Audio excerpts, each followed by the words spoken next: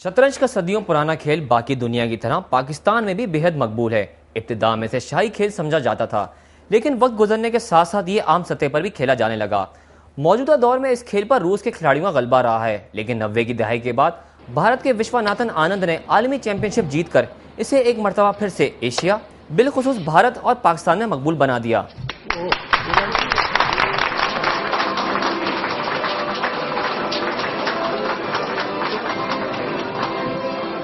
पाकिस्तान के जिन खिलाड़ियों ने शतरंज को मकबूल बनाया, इनमें शहजाद मिर्ज़ा, सरे फहरिस्त हैं, इंटरनेशनल मास्टर और सबक एशियन गोल्ड मेडलिस्ट कहते हैं कि पाकिस्तान स्पोर्ट्स बोर्ड को अपनी पॉलिसियों में तब्दीली लाते हुए डमी एसोसिएशन पर भी नज़र रखनी चाहिए ताकि इस खेल को मजीद तबाही से बचाया जा सके।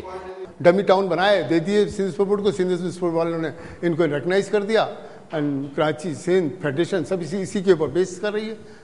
तो उनको कोई, यानी कि कोई ज़िम्मेदारी का एहसास ही नहीं, ना कोई पूछने वाला है उनको। यानी कि मुझे जहाँ तक मुझे इल्म है, कराची की और सिंध की जो बॉडीज़ हैं, वो बेसिकली कभी उनकी मीटिंगें नहीं होती हैं। हाँ ये ज़रूर है कि बाहर के जब ट्रिप आते हैं तो ये इनके अहदेदार जो हैं और इनकी बेगमात जो है बाहर जा रही होती हैं। जी छोटे मोटे लोगों को जमा करा लेकिन इवन सलेक्शन तक भी नहीं कराते हैं ये लोग कि जी एक प्रॉपर सलेक्शन कराएँ। नौजवान खिलाड़ी इसराल हक का कहना है कि सिंध शतरंज एसोसिएशन की अदम तवज्जे के नतीजे में वो अभी तक कौमी सतह पर कोई मुकाबले में शिरकत नहीं कर सके जबकि इन मुकाबलों के लिए ट्राइज भी नहीं ले जाते हैं जिससे टैलेंट का मजीद जिया हो रहा है। हुकूमत सपोर्ट करे कम अज कम ये कि इतना तो करे कि एक ट्रायल वगैरह करवाए ताकि देखे गेम्स तो क्या कि, किस लेवल पे है चलो ठीक है नहीं है। अगर गेम नहीं है तो चलो कोई बात नहीं रिजेक्ट कर दें। लेकिन कम अज़ कम एक ट्रायल वगैरह तो लें कुछ तो करवाएँ कि यंग यंग टैलेंट को आगे बढ़ने का मौका मिले।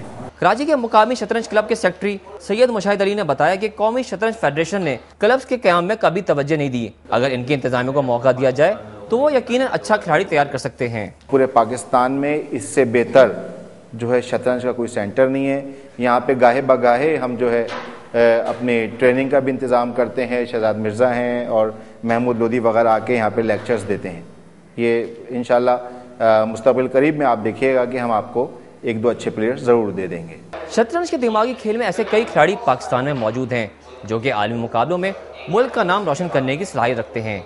ये खिलाड़ी सिर्फ़ हौसला अफजाई और ताउन के तलबगार हैं। माहिराना चालों से मध्य मुकाबले की बिसात उलट देना शतरंज की हर खिलाड़ी की ख्वाहिश होती है, मगर पाकिस्तान में ये खेल अदम तवज्जो के बायस आज जबू हाली का शिकार हो चुका है।